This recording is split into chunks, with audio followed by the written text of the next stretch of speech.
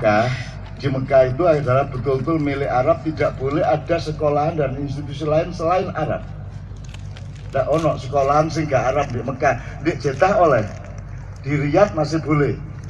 Madinah masih ada sekolahan Indonesia. Tapi di Mekah tidak boleh ada sekolahan yang bukan Arab. Kecuali Maduro Wis sampeyan Mekah dolek ono sekolah ketoke Arab begitu mlebu ndak remek sampeyan. Nah, itu Maduro. Jadi makanya di Arab itu ada dua kedutaan, satu KBRI, satu KBRM.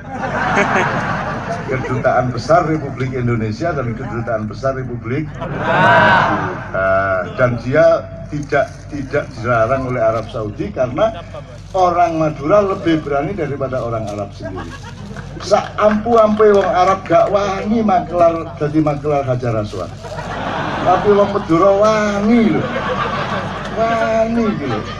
60 real sampai kepingin lang Hajar Aswad itu. Jangan kok sing ngikut, ayo minggir sampean, minggir sampean. Wani wong Madura. Wong Madura itu makhluk khusus dari Allah. Dan orang Madura itu betul kekasih Allah, gitu ya.